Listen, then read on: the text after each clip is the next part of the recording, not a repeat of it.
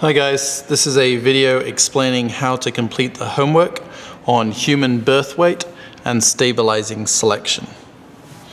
So make sure you've got your homework sheet. It should look something like this. Look for this part of it. Um, we can see we've got um, sample data for babies, weight at birth, and there are 100 data points. Um, this, these uh, weights of different babies um, are in kilograms. What you need to do first for this homework is record the number of individuals in each size group and record the number, um, count the number of individuals in each size group and record the number in this table here. So what I'm going to do is I'm going to go through this um, data set, crossing off any that I count as I go through, and uh, I can see that um, first of all as I go through the first category 0 to 0.49 kilograms I look through all the data here and I see that there's actually none in that category. There are no babies um, that were born in that weight category. There's also no babies that are born from 0.5 to 0.99 kilograms. Now, from 1 to 1.49 kilograms, if I go all the way through here, I see that there is one baby right here that was born at that weight. So I'm going to cross off that individual and count them as one. For the next one, 1.5 to 1.99 kilograms, when I look through, see I've got one here, one, there's a second one here, two, and a third one here, three. So there are three individuals of that weight. What you need to do for your homework, I've already given you the first four boxes here, is to count the number of individuals that belong in each of those weight categories. Your total should equal 100. If you get 100, that means that you've counted all of them. So that's just the first part of your homework. You're working out how many different babies belong to each of these weight categories. The next thing that you're going to be doing as part of your homework is plotting this data in a frequency histogram, which is over on the next page. So my first four values were 0, 0, 1, and 3. You're going to be plot plotting the whole lot, but I'm just going to show you how to do the first few.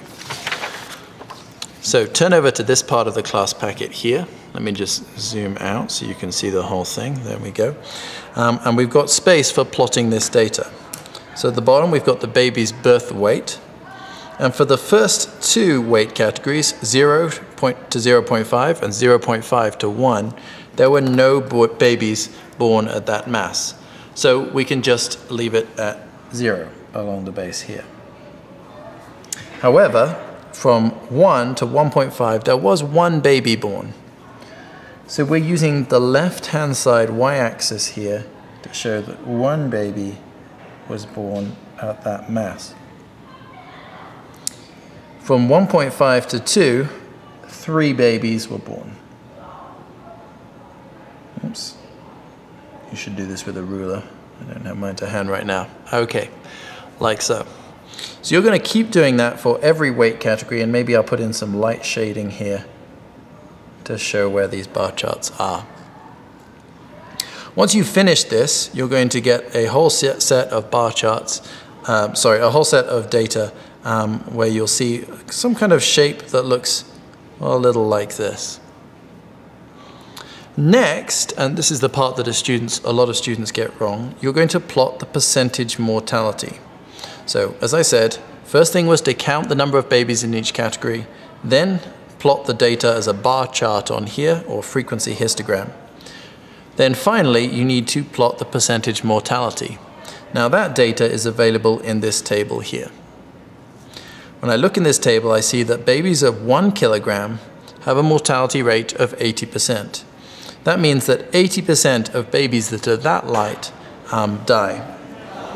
Therefore, what you need to do is to put a single check mark right here because we're working off this y, x, uh, sorry, this y-axis on this side now. Remember, for the other data set, for the bar chart, we're working off this side. For this new line graph that we're going to do, we work off this side. So 80% mortality at one kilogram. Amazingly, this drops to 30% mortality. So many, many more of the babies live if the baby's weight is 1.5 kilograms. So again, 1.5 kilograms, 30, I mark that point off using the x-axis here. And so what you'll be doing, and the next one would be 12, so let's pull that down to, that would be around here, and so on. Once you're done with this, you're going to have a bar chart from your first set of data and a line graph joining together a set of points for this second set of data. And there'll be some more points along here for you to plot from this um, table. Once you're done with that, describe the shape of the histogram for birth weights, that's the bar chart. State the optimum birth weight in terms of new, new, lowest newborn mortality. So in other words, um, what's the best chance of survival? What birth weight is the best chance of survival?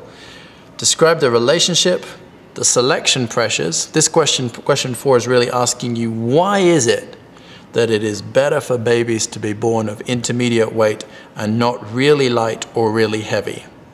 That might be something you need to look up. Finally, describe how medical intervention methods during pregnancy and childbirth may have altered these selection pressures. Why is it that now fewer of the light and very heavy babies um, tend to die and more and more of them are able to live? So that's the homework. Um, come and check in with me if you uh, have any questions about it.